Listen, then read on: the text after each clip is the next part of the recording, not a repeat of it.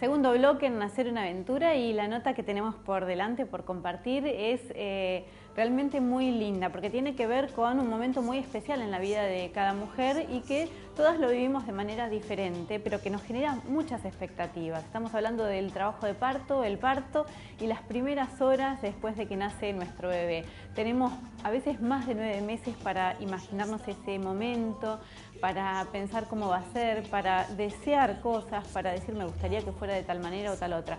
Después llega y a veces es como queríamos, a veces no, pero bueno, hay mujeres que necesitan más apoyo que otras y en estos casos es bueno que haya, eh, que esté la figura de la dula, ¿no? De esto nos va a hablar Lorena de Ribot y nos estamos eh, refiriendo a un apoyo emocional, eh, que no tiene nada que ver con el apoyo del médico obstetra y con el apoyo de las obstétricas, las parteras, que son tareas totalmente diferentes. En este caso, Lorena Ribot nos cuenta qué es una dula.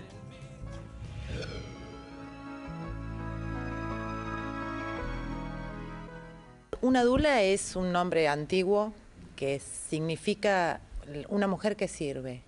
Eh, y puesta en el contexto del embarazo, una dula es una persona, una mujer que asiste a otra mujer que está en trabajo de parto, eh, durante el parto, durante el posparto también, durante los primeros días, los primeros momentos y encuentros con el bebé, con el tema de la lactancia, este, rescatada de lo que era el antes, el ser, eh, las mujeres antes parían acompañadas de otras mujeres y era algo que se fue perdiendo con, nuestra forma de vida.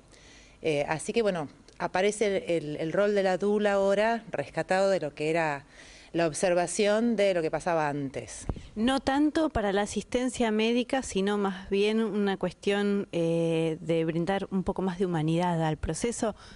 Sí, no, de, es decir, la dula no tiene nada que ver con eh, em, un hecho de salud. En realidad es más un acompañamiento emocional que un hecho de salud. Es decir, vos vas a parir, por ejemplo, y te vas a hacer los controles con un médico obstetra durante los nueve meses. Es decir, el que lleva el control del estado de salud del embarazo es un médico o es una obstétrica, es decir, una partera. Personas que fueron formadas eh, en el ámbito de la salud. La dula es una mujer que tuvo un hijo o que tuvo varios hijos y que pasó por la experiencia de ser madre, se prepara para asistir y para apoyar emocionalmente a otra mamá y ese es el rol de dula. Por eso es importante, en general las dulas son todas madres. Para ser dula tenés que ser mamá. Y como dula, ¿qué rescatás para sostener? ¿Cómo brindás sostén? ¿Cómo ahuyentás esos miedos? Y el sostén es eh, eh, recordarle o estar ahí presente de alguna manera invisible, si querés, porque la dula tiene que tener muy en claro que no es protagonista de nada durante el proceso del parto y, durante el proceso posterior, que es la, la primera parte de la crianza. Es decir, que la verdadera protagonista del parto es la madre. Eso es una cosa muy importante, remarcar que la dula es un ser que está ahí para que vos como mamá puedas decir, a ver, dame la mano, acá estás. Es una persona que le da soporte a la madre y que le dice todo el tiempo, sigilosamente, vos podés, vos sabés, vos sos la que está embarazada, tenés a tu hijo dentro de la panza y vos sos la que lo tenés que sacar afuera de la panza. Cualquier cosa, acá estoy yo. Lorena, ¿cómo se contacta la embarazada con la dula? ¿En qué momento de ese proceso? Mira, el tema de las dulas es un tema mm, relativamente nuevo. Eh, acá en La Plata somos pocas las que estamos formadas como dulas. Este, algunas, yo por ejemplo que trabajo con gimnasia para embarazadas, el contacto en general es a través de la gimnasia, pero otras mujeres que son dulas, este, nada, vos las podés llamar, podés eh, contactarte con ellas un rato, un rato no, unos meses antes del parto, cosa de tener un par de entrevistas eh, para que la dula te conozca, conozca tus necesidades y puedan planificar un trabajo en conjunto para, el momento del parto. Y a partir de ahí siguen. Y a partir de ahí eh, siguen, eh, eh, pueden hacer ejercicios juntas, pueden este, planificar cosas juntas, pueden, la dula puede brindar mucha información que la tiene este, respecto de cosas que van a ocurrir durante el parto, cosas que son eh, lo, que es importante remarcar es que la dula es como que está muy pendiente y muy presente el tema de eh, rescatar la fisiología del parto, es decir, estar apuntalando a la mamá con información que para que la mamá tenga eh, y para que sepa lo que es la fisiología del parto, qué, cosas son normales y naturales en un parto y qué cosas no lo son. Este, y, bueno, eh, después, después del parto está el, momento del puerperio. En ese momento también es importante tener una, una mujer que, es como una madre que nos asiste y nos da una mano si es que la necesitamos cuando tenemos que dar la teta, cuando tenemos que, que, bueno, que ponernos a ser mamás, de repente cuando uno le parece que, que por favor que alguien me rescate de esta situación que yo no sabía que era tan, a veces tan complicada.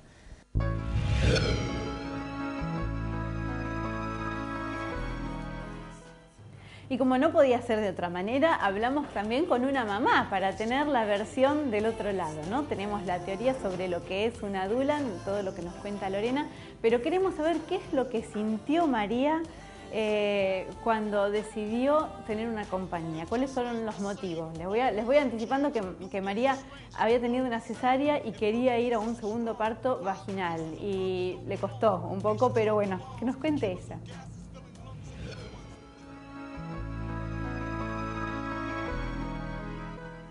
Y mira, la verdad es que con el primero eh, yo fui a cesárea y estaba, que para mí era importante intentar un parto natural con ella.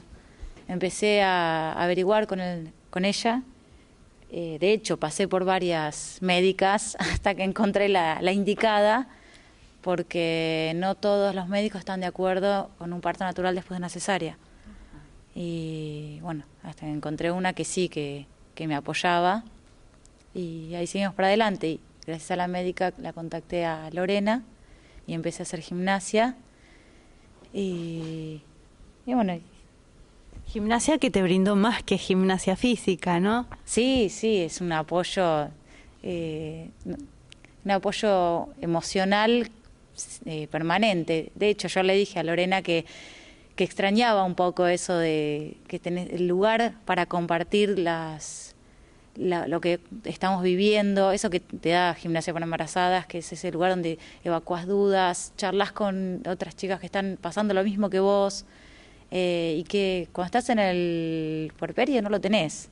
Y estaría bueno también tener un espacio para todas las que están pasando por lo mismo, todas las cosas que estás sintiendo, y querés saber qué es normal, qué no, que bueno, el gimnasio para embarazadas, por lo menos en, el embarazo, nos lo daba. Y contame cómo fue que dijiste, bueno, me gustaría que me acompañes en el proceso del parto y los primeros este, días del bebé. Y eso lo habíamos estado charlando un, tiempo antes de, cuando ya se estaba acercando la fecha de, parto, lo estuvimos charlando con Lorena. Me ofreció a ver si, si quería que, que fuera una compañía en ese momento y yo, como tenía muy buena relación con ella y me sentía, siempre nos, transmite mucha tranquilidad, eh, pensé que, iba a ser necesario. Y bueno, en casa, cuando empecé con el trabajo de parto, eh, y empecé a asustarme un poquito y llamé pidiendo socorro y vino y ahí cambió completamente el panorama. Porque por ahí una se empieza a asustar porque duelen un poco las contracciones y está eso de, bueno, ya empecé con el trabajo de parto, no empecé, ¿cuánto va a durar esto? todas esas dudas que te agarran y los maridos que a veces no tranquilizan mucho, más bien se asustan más que una. Eh, bueno, tener una, una mano amiga que, que sabe del tema, entonces te puede transmitir eso, eh, está muy bueno. ¿Te acordás qué cosas te dieron tranquilidad, por ejemplo? Tranquilidad, principalmente ella estaba tranquila y podía transmitirme eso a mí. Eh, y también, bueno, ella me ayudó mucho con, a encontrar, a buscar qué posiciones eran mejores para, para pasar el momento, que en qué postura me dolía menos a mí en las contracciones, ir buscando eso. Eh, me dio algunos consejos que fueron buenísimos, como bajar la luz, poner música relajante. Y bueno, ya después no me quería ir de mi casa, no quería ir a la clínica. Lo querías tener en tu, en tu casa. no quería ir. Bueno, para el tercero. En la clínica no iba a estar ni la música, ni la luz baja, estaba sentada en una pelota, tranquila. Y todo eso no iba a estar, entonces no quería ir. Es decir, que el trabajo de parto comenzó como algo terrorífico que te amenazaba muchísimo y terminó siendo un lugar... A doler las contracciones me empecé a asustar, sí. Y no, no, no me daba cuenta que yo tenía que ir buscando la forma de que la posición que, que a mí me doliera menos. Y la encontraste. Y llegó Lorena y me ayudó a buscar eso eh, y me dio algunas estrategias, ya te digo, con el tema de la luz, la música, tener algunas estrategias para que en vez de ser un momento de temor, fuera un momento, sí, tal cual. ¿Y qué sentís ahora? ¿Un sueño cumplido? Sí, sí, sí, la verdad que sí. Lo logramos.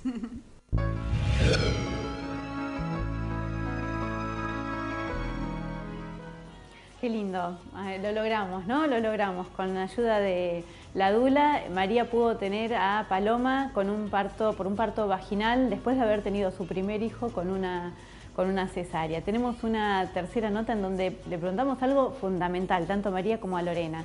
¿Qué pasó con el padre, con el futuro papá en ese momento? ¿Cómo la Dula pudo ayudar a que el papá también sintiera que tenía un lugar y pudiera colaborar en esta situación? Las escuchamos.